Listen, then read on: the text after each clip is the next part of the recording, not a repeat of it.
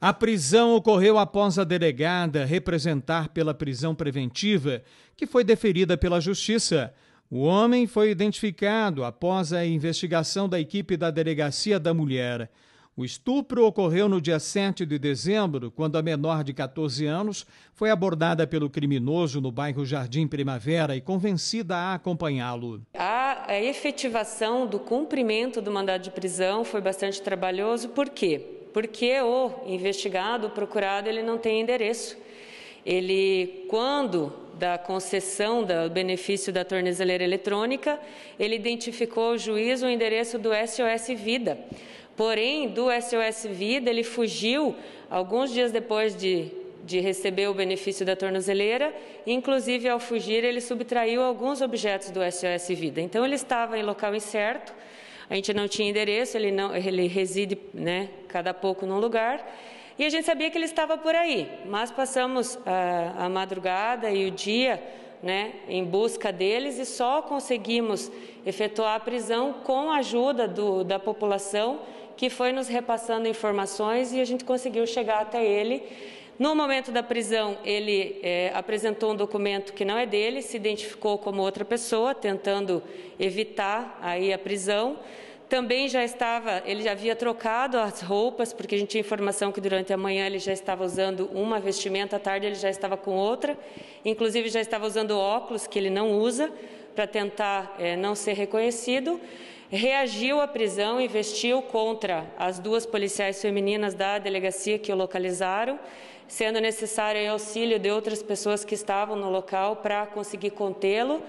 É, proferiu muitas ameaças, estava totalmente descontrolado, tentou soltar a algema, tentou fugir da equipe, e, mas conseguiu ser contido e preso. Parecia estar sob efeito de drogas? Olha, o que eu posso dizer é que ele estava muito, muito alterado após a sua condução.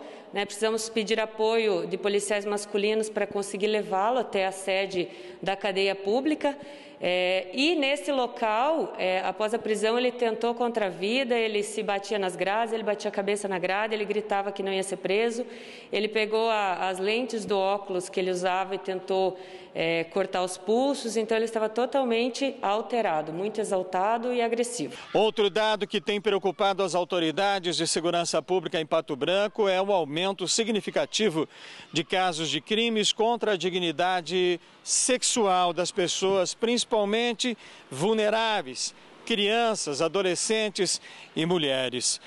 Tanto que a Secretaria de Segurança Pública do Paraná já pensa em criar uma unidade especializada de combate ao crime contra crianças e adolescentes para 2022 em Pato Branco. A nossa demanda de violência de gênero já é muito alta, somada a essa demanda de crimes contra criança e adolescente tem nos deixado realmente afogados, né? A nossa equipe é pequena e trouxe a, a possibilidade de cogitar, inclusive o delegado-geral cogitou a possibilidade de talvez instalar um, um NUCRIA aqui em Pato Branco, que é uma delegacia especializada no atendimento de criança e adolescente, justamente em razão dessa demanda elevada que realmente chama atenção e assusta.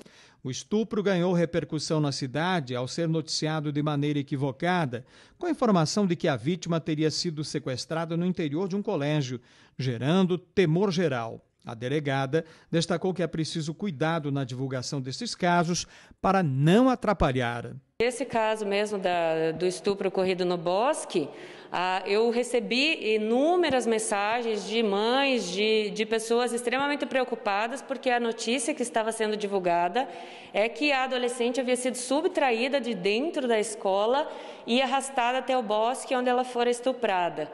Então, isso gerou realmente uma preocupação, um temor na sociedade, causa pânico desnecessário em razão de vinculações de notícias falsas, de notícias mal feitas, né, mal elaboradas, e que as pessoas repassam sem ter a confirmação de que isso seja verdadeiro.